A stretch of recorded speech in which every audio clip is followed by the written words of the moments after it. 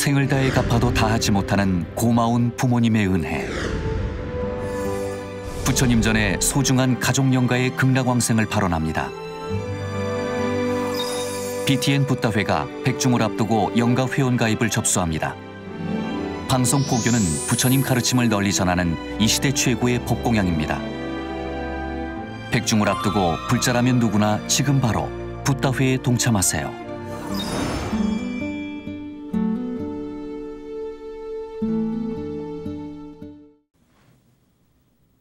사리에 족보가 다 있어요. 근데 그거는 조금 있다 하고 그랬더니 야 그런 게 어딨냐?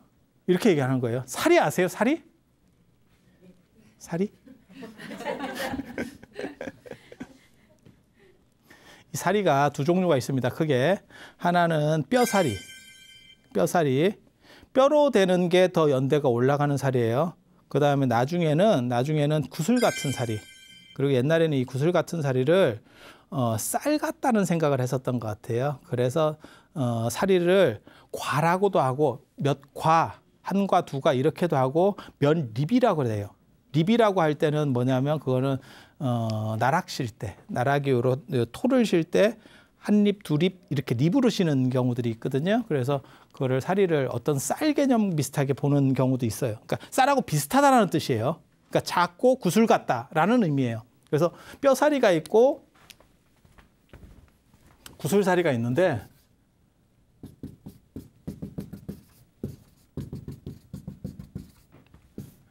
뼈사리가 더 연대가 올라가는 겁니다. 네, 뼈사리가 뭐 연대가 올라가는 겁니다. 구슬사리는 연대가 많이 떨어집니다. 근데 저 사리가 부처님의 어떤 깨달음의 정수인데 그걸 내가 어, 기도를 해서 감흥을 해서 하늘에서 떨어지게 이렇게 얘기해요. 강수님. 그랬더니 어 그런 게 있어?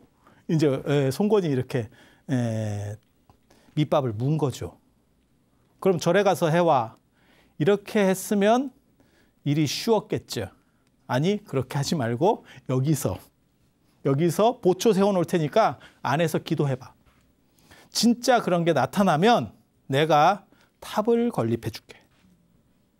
탑을 건립한다는 뜻이 뭐냐면요. 이게 탑전이라는 의미예요. 지금은 탑이 그냥 조그만 이런 탑, 사리를 모신 탑 그게 아니고요. 황룡사 구층 목탑 같은 거 생각하시면 돼요. 옛날에는 탑 안에 그러니까 탑이 대웅전 기능까지 다 한다고 보시면 돼요. 그러니까 지금처럼 탑은 대웅전하고 별도로 분리돼 있고 전각하고 분리돼 있고 그 탑은 그냥 신앙 대상으로서 조그맣게 있는 거다 이게 아니고 황룡사 구층목탑 같이 큰 탑을 만들어서 그 안에 불상을 다 모시고 있는 거예요. 층층마다 다 있습니다. 그러면 거기에 사리도 모시고 불상도 모시고 있으면 이렇게 올라가면서 어 거기를 돌면서 참배하면서 올라가는 그런 구조예요. 어 저거를 어 탑전이라고 합니다. 탑전, 탑전. 그러니까 절이 따로 있는 게 아니에요. 저 탑 하나만 지으면 되는 거예요. 그거는 우리나라에서 고구려라든지 백제라든지 신라에 처음 불교 들어왔을 때도 유적지들이 다 저런 식으로 생겼어요. 그러니까 초기 형태는 자, 저거, 저거라고 보시면 돼요. 그리고 나중에 불상이 이제 점점점 비중을 커지면서 어, 전각하고 탑이 분리가 되는 겁니다. 어, 그러니까 지금 여러분들이 생각하시는 거하고는 완전히 달라요. 완전히 달라요. 그래서 내가 그러면 저 탑전을 내가 지어줄게. 그러니까 쉽게 말해 절 하나 큰 거 하나 만들어 줄게. 어, 해봐. 그래서 일주일 동안 기도를 했대요. 사리가 어, 떨어지라고. 어, 여기 구리로 된 병을 하나 놓고 병을 하나 놓고 거기에 에, 사리가 만들어지기를 기도를 했대. 나 만들었을 것 같아. 안 만들었을 것 같아? 네? 안 만들었으면 죽어요. 만들었을 것 같아? 기도를 했는데 안 됐대. 안 됐대. 그래서 송건이 야 구라냐 이런 식으로 이제 야 뭐뭐 뭐 이러니까 강성이가 뭐라는 일주일만 더 주세요. 일주일만. 근데 송건이 별로 일이 없었는가 봐요. 뭐 그럼 한번 해보던가. 그거 뭐 되겠어. 일주일 더 준다고. 또 일주일을 했어요. 14일이지. 만들어졌을 것 같아요. 만들었을 것 같아요? 안 됐어요. 어, 안 됐어요. 어. 저 강성애가 보통 사람이 아니에요. 저 어떻게 보면 저 아랍 사람의 특징일 수도 있다는 생각을 하는데요. 어, 한 번 더 요청합니다. 그 굉장히 어렵거든요. 한 번 더 요청하거든요. 그리고 이번에 안 되면 우리는 음, 이제 죽는 거예요. 음, 죽는 거예요. 죽음을 각오하고 그리고 제자들한테 뭐라고 했다라고 나오냐면 고승전에 보면 뭐라고 나오냐면 어, 여기에 성패가 걸렸다. 강남 불교에 성패가 걸렸다. 우리가 이것을 기도로 해서 못 만들어내면 우리만 죽는 게 아니고 불교 끝이다. 그러면서 노노 얘기를 듭니다. 노노에 보면 뭐가 나오냐면 어, 공자가 환태에게 이제 이렇게 어, 테러를 당할 상황이 처해지니까 어, 공자가 뭐라고 얘기하냐면 주나라의 문화가 주공이 죽고 주나라의 문화가 나에게 있는데 그 전통이 어떻게 보면 내가 계승하고 있는 건데 환태 따위가 나를 어떻게 하겠느냐 이러면서 탁 자부심을 보이거든요. 근데 강승혜가 어, 만약에 불교가 부처님의 뜻이 강남에 있다면 우리가 분명히 사리를 만들 것이다. 사리를 얻을 수 있을 것이다. 그렇게 해서 죽자고 기도를 했더니 마지막 날 이때도 안 나왔으면 기록에 없겠죠. 아니 그렇지 않아요? 아, 마지막 날 밤에 아이 그 너무너무 진짜 심장 쫄깃쫄깃하게 하는 거예요. 끝까지 안 되다가 마지막 날 오경에 어, 이게 밤에 갑자기 그 구리병 속에서 땡그랑 소리가 나더래요. 뭐 하나 떨어졌어요. 하나 떨어졌어. 어. 아니 절에서 한 것도 아니고 지키고 있다니까. 얘네가 지금 지키고 있다니까. 너네가 지, 진짜 만드는지 아니면 조작하는지. 요즘으로 말하면 주작이 주작. 주작이라는 표현 들어보셨어요? 요즘 애들이 쓰는 조작 대신에 주작. 어, 조작이라고 자꾸 쓰니까 금지어를 거니까 애들이 주작이라고 쓰는 거예요. 그 주작에 대해서 금지어를 하면 어, 그런 피닉스 뭐 이렇게 이제 새로다가 바꿔가는 거예요. 점점 점점 주작이니까 남주작 뭐 이렇게 하니까 이렇게 음 비슷한 걸로 계속 바꿔가는 거예요. 어, 그렇게 하는데 거기서 사리가 떨어진 거예요. 그래가지고 어, 소리가 나는 걸 보고 딱 보니까 빛이 뿜어져 나오더래요. 어, 동 동 그 병 안에서 빛이 뿜어져 나오더래요. 그래서 어, 송건 이게 이제 송건 앞으로 가게 된 거예요. 그걸 모시고 사리를 모시고 그랬더니 어이 신기한데 이러니까 강승혜가 뭐라고 얘기하냐면 사리는 사리는 불에도 타지 않고 그건 그럴 수도 있을 것 같아요. 왜냐하면 이미 한 번 탔잖아요. 이미 한 번 탔잖아요. 그러니까 불에도 타지 않고 아유 뭐, 뭐 그럴, 그럴 수 있을 것 같아요. 어떤 걸로도 깰 수 없습니다. 이렇게 얘기해요. 그래서 그 깨는 걸 합니다. 진짜. 그랬더니 어 그러면 데리고 와. 그래가지고 예, 군사를 데리고 와서 이제 어 그런 이제 보통 왕궁에는 힘쓰는 역사들이 있거든요. 이게 보디가드 비슷하게. 예, 그러니까 이제 모루 같은 거 하나 갖다 놓고 그 위에다가 이제 사리 올려놓고 그 거기 이제 망치로 쇠망치로 치는 거예요. 쳤더니 그 망치가 안으로 패어 들어갔대. 그걸 보고 이 세상 물건이 아니구나. 이러면서 송건이 불교로다가 귀하는 아주 중요한 사건이에요. 아주 중요한 사건. 그렇게 해서 그 약속을 지키고 탑을 만들어줬대. 큰 절을 하나 지어줬대. 작은 게 아니에요. 큰 규모의 절을 하나 지어주는 거예요. 그래서 거기를 뭐라고 얘기하는 거냐면 그 동네 이름이 불탈이에요. 부처님 동네. 그리고 그 절 이름이 건초사예요. 처음으로 세워진 절. 강남에 처음으로 세워진 절. 어, 그렇게 해서 이제 강승회라고 하는 사람을 강남 불교의 어떻게 보면 시작점으로 놓거든요. 그런데 강승회 말고 사실 한 명이 더 있어요. 저 지겸이라고 하는 사람이 이 사람이 월지국 출신인데 저 지루가참 얘기할 때 에, 월지 그 사람이 월지국 사람이거든요. 이 사람 근데 이 사람은 또 거사예요. 어, 거사인데 6개국어에 능통했대. 아, 머리가 되게 좋은가 봐요. 그렇게 해서 이제 번역일 같은 걸 하고 실제로 강승혜보다 더 빨리 와서 어, 강남을 교화하려고 많은 노력들을 했어요. 많은 노력들을 하고 경전도 뭐 유마일경, 유마경, 그다음에 뭐 소품반야경, 그다음에 배경경은 이게 이게 이제 공사상 반야 공사상 경전이고 유마경은 저건 뭐 유마 유마 거사와 관련된 경전. 찬지 배연경은 이건 어, 전생에 어, 선악에 대한 어, 과부 이런 얘기들을 하는 거예요. 어, 윤회 전생 이야기를 하는 거고 태자성 봉기경 이런 거는 이제 부처님 생애에 관련된 기본 경전들을 다 번역하고 작업을 했는데 저 사람을 강남 불교에 어떻게 보면 시작점으로 잘 안 봅니다. 왜? 어디나 똑같아요. 1등만 기억하는 더러운 세상. 어, 그래서 저분이 더 빨리 와서 교화를 했지만 저분은 송권을 교화를 못했어요. 그러니까 주류층으로 못 올라간 거죠. 그리고 강승회는 어, 송권을 교화하는데 성공했죠. 그렇게 하고 이 사람도 똑같은 걸 하는 거예요. 결국 번역일 하고 기본적인 거 번역일 하고 그 다음에 이 소품 반야경이 이 경전하고 어느 정도의 관계성이 있을 거예요 분명히.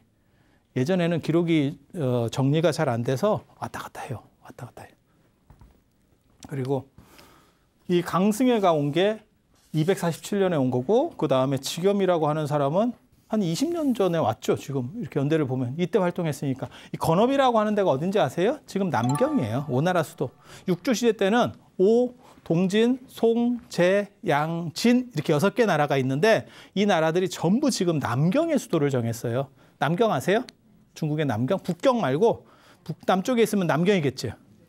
어, 그 남경이 있어요. 여러분들이 아시기로는 남경 하면 떠오르는 게 하나가 있어야 돼요.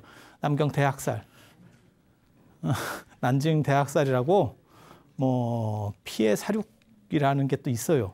뭐 그런 얘기를 하려고 하는 건 아니고 아무튼 남경이 예, 여섯 개 왕조의 수도예요. 그래서 이제 건업이라고 하는 게 남경의 다른 이름입니다. 결국은 다 남경의 수도를 정한 거고 거기서 깃대를 꽂은 사람이 누구냐? 강승회. 네, 강승회 그리고 그렇게 해서 건립되는 게 저 건초사. 건초사인데 실제로는 탑 하나였을 겁니다.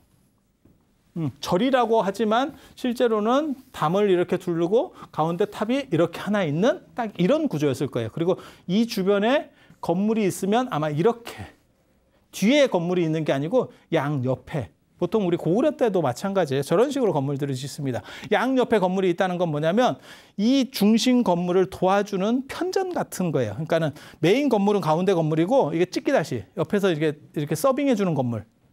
어 그래서 준비하고 뭐 이런 건물들인 거예요. 그리고 이게 건물이 뒤에 생기잖아요. 그러면 이게 위계가 높습니다. 뒤쪽 게 높습니다. 그래서 언제 이런 건물들의 배치가 어떻게 되느냐를 발굴을 통해서 보면서 찾아가는 거예요.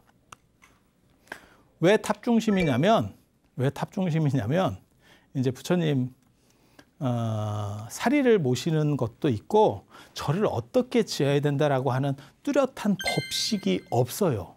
처음에 불교가 들어왔을 때는 그래서 큰 탑을 예, 전에 제가 그런 얘기했었는데 명당 건물이다. 중국의 최고 건물이 명당 건물이 있는데 그 명당 건물에다가 사리를 넣고 그거를 불교식으로다가 장엄을 해버리는 거예요. 그게 높은 층의 건물입니다. 그래서 보통은 이게 5층, 7층, 9층 이렇게 예, 높은 건물에다가 부처님 사리를 모시고 그 다음에 그 지금도 저렇게 건물 지으면 이목이 집중이 돼요. 저거는 제가 초기에 불교 전례한 사람들이 굉장히 잘했다는 생각을 하거든요. 왜? 다 조선시대 같이 다 낮은 건물들밖에 없는 시절에 한 9층 건물을 큰 걸 하나 지어가지고 그게 절이야. 그러면 사람들이 보면서 다 이렇게 그냥 그 자체가 광고판이에요. 그러니까 초기 불교, 초기 중국 불교의 전승에서 가장 중요한 게 뭐냐면 신의성이에요. 신의성. 다 영험을 보고 지금 기존에 있는 불교나 아니, 불교 이전에 있었던 중국의 신들 이런 것들은 게임도 안 되는 뭔가 강력한 게 존재하고 있어. 그리고 그 초점에 뭐가 있냐면 유물적인 초점에 사리가 등장. 사리가. 그래서 저 불도징이나 이런 데 얘기에서는 불도징 자체가 외국 사람으로서의 어떤 신통이 있었던 사람이고 불도징은 진짜 못하는 게 없어요. 이게 도대체 사람인가 뭔가 견적 잘 안 나오는 거의 모든 게 가능합니다. 제가 이런 신통이나 이런 걸 굉장히 좋아해서 저 딱 얘기를 들으면 아 이건 이렇게 이렇게 한 것 같아. 이건 어떤 수행을 하면 될 것 같아. 뭐 이런 견적이 나오는데 불도진 거는 견적이 안 나오는 게 굉장히 많습니다. 어디까지 진짜고 어디까지가 뭐 섞여 들어갔는지 안 그러면 진짜 이게 가능한 건지 모를 정도로 어 저런 큰 탑을 세우면 저 옆에다가 풍경 같은 걸 다는데 그런 풍경 소리를 들으면 어 누가 죽는다네? 뭐 어디서 뭐 무슨 일이 있었다네? 저 풍경 소리 들으니까 그거 안 들려? 거기서 그 얘기 하고 있잖아. 이런 얘기를 해요. 뭐 짐승 얘기를 알아듣고 이런 게 아니야. 그 정도 급이 아니야. 환장할 일들이 많다니까요. 그래서 불도징이라고 하는 사람 사람 자체가 신통이 있는 사람이고 그 다음에 초기에 이러한 음, 어, 전파자들의 특징은 다 신통과 관련되고 경정과 관련되는데 이제 드디어 사리 문제가 어, 눈에 보이는 객관화된 어떠한 진료 문제가 터지는 거예요. 그래서 어, 이 사리가 강남의 박힘으로 인해서 드디어 강남 불교가 시작되고 어, 그리고 어, 일단 살이라고 하는 것들이 이제 예, 포교 거점 안 그러면 어, 종교의 전파, 불교의 전파에 있어서 중요한 역할을 한다. 그리고 그것은 보통 어, 어떤 이런 숭배 대상이 아니고 굉장히 특별했었다라는 걸 알 수 있어요. 그리고 여러분 아시는지 모르겠는데 사리가 아까 불 불에서도 안 타고 깨지지도 않는다 그랬잖아요. 쇠망치로 쳐도 안 깨진다. 지구가 멸망할 때는 어떻게 될까요? 제가 그런 얘기 하거든요. 신선이 영원히 산다. 근데 결국은 언젠가는 지구가 끝날 때도 있겠죠. 언제 끝나냐면 지구가 멸망할 때는 정해져 있습니다. 태양이 꺼질 때. 아, 그때도 있는 거예요. 존재하는 거예요. 우리가 그때까지 안 살 뿐이지 태양도 언젠가 꺼진다니까. 태양이 꺼지면 점점 점점 부풀어 오릅니다. 태양이. 그렇게 해서 지구 영역까지 다 전부 이렇게 태양이 쫙 커져요. 그러다가 이제 훅 꺼져 버리는 거거든요. 어, 그런데 그때 되면 신선은 어떻게 될까? 신선은 도대체 어떻게 살까? 살인은 살인은 그때도 살아남는다는 거예요. 그래서 이 우주가 완전히 끝 장이 나도 살이는 남는데 그 살이가 남아서 새로운 시대가 되면 그 살이가 보석으로 바뀐대. 그게 만이주예요. 만이주. 옷만이 밤매워 말때 어, 그 옷만이 밤매우면 오 연꽃 속의 보주여 그 보주 같은 것도 사실은 그런 의미야. 그래서 만이주 같은 게 사리가 바뀌었다. 나중에 나오는 얘기예요. 어, 인도의 대승경전에서 그런 이야기들이 있습니다. 그래서 이게 사리숭배와 관련된 어떤 흐름들이 존재하는구나라는 얘기를 일단 해드리고 이 사리와 관련돼서 제가 더 진지한 이야기 저희 다음 시간에 해드릴 거예요. 이거 어서 못 들어. 전 세계에서 제일 중요한 살이 세 가지. 그 다음에 겁나 중요하다고 그 나라에서 엄청나게 약을 팔고 있는데 실제로는 아닌 살이. 어, 그래서 어, 베스트 셋, worst 둘. 어, 그리고 이건 worst도 아니고 그냥 구라예요. 그래서 그 얘기를 다음 시간에 해드릴 거예요. 어디서 듣겠어? 어디서도 여기서만 듣. 어, 그러니까 꼭 어, 보실 수 있도록 그렇게 하시면 감사하겠습니다. 오늘은 이상 마치겠습니다.